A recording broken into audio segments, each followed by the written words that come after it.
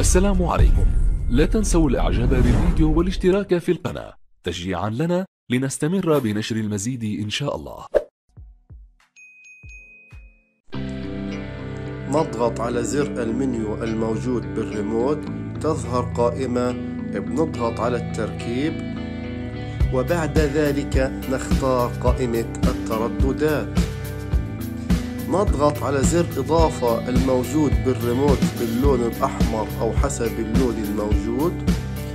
ثم نبدأ بإدخال التردد وهو 119 خمسة ثمانية. مع معدل ترميز 27500 الاستقطاب أفقي. نضغط OK.